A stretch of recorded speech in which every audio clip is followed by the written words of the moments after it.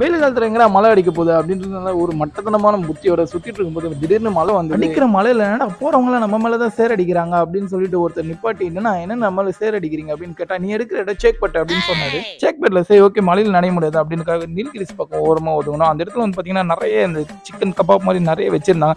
ஆஹா chicken இருக்கு அப்படின்னு சாப்பிடலாம்னு ஆசையா போனா அது வந்து பாத்தீங்கன்னா பியூர் வெஜ் அப்படின்னு போட்டிருந்தனால ஒரே ஏமாத்தமா போச்சு. பட் ஆனாலும் வந்து பாத்தீங்கன்னா அந்த கடைக்கு மட்டும் தான் நிறைய பேர் வந்திருந்தாங்க. என்னடா இருக்கீங்க? அப்படின்னு பார்க்கும்போது ஃபுல் இன் ஃபுல் பாத்தீங்கன்னா இது வந்து சோயாலேயே வந்து மேக் பண்ணுறாங்க அப்படின்னு சொன்னா நம்ம ஒன்று ஆர்டர் போட்டுட்டு வெயிட் பண்ணிகிட்டே இருந்தோம்.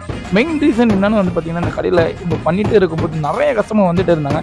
அன்ன தட்டுற சவுண்ட்லேயே தெரியும். சவுண்டே அவங்கள எல்லாரையும் வாங்க வாங்கன்னு அப்படின்னு கூப்பிட்ற மாதிரி இருந்தது. எல்லாத்தையும் வந்து கட் பண்ணி போட்டு மசாலாலாம் அரைச்சி அவங்க செமையாக பண்ணிட்டு இருந்தாங்க. பார்க்கவே எனக்கு ரொம்ப நல்லா இருந்தது. பட் ஆனால் வெஜ்ஜில் அப்படி என்ன ஸ்பெஷலாக இருக்க போது சரி ட்ரை பண்ணி தான் பார்ப்போமே அப்படின்னு சொல்லி செம வெறியாக நின்றுட்டு இருந்தேன். இங்கே வந்து பார்த்தீங்கன்னா கஸ்டமர் கண்டினியூஸாக வந்துட்டு இருந்தாங்க. செமையாக சேல் ஆகிட்டு இருந்தது. உண்மையாக சொல்ல போனால் எனக்கு ரொம்ப பசியிலே இருந்தேன். சரி ஓகே எப்படா கொடுப்பாங்க? அப்படின்னு பார்த்துட்டு இருக்கும்போது அவர் ஒரு கொடுத்து அனுப்புடா பாவம் ரொம்ப நேரமாக நிற்கிறாரு அப்படின்னு சொல்லி அவர் சொல்லவும் ஃபைனலாக வந்து எங்களுக்கு வந்து பார்த்தீங்கன்னா ஒரு நல்ல மனசு வச்சு கொடுக்க ஆரம்பிச்சிட்டாரு. கொடுக்கும்போது சட்னிலாம் போட்டு செம்மையாக கொடுத்து வாசனை எனக்கு ரொம்ப நல்லா இருந்தது. ஓகே பட் இருந்தாலும் டேஸ்ட் பண்ணணுமே எப்படி இருக்க போகுது? அப்படின்னு தெரியல. இது உண்மையிலே பியூர் வெஜ்ஜில் இப்படிலாம் பண்ண முடியுமாடா அப்படின்னு பார்க்கும்போது ரொம்ப சர்ப்ரைஸாக இருந்தது. சரி ஓகே ஃபைனலாக இதை சாப்பிடலாம் சொல்லிகிட்டே இருக்க முடியாது அப்படின்னு பார்க்கும்போது வெஜிடபிள்லாம் போட்டனால நாக்கு ஊறிட்டே இருந்தது.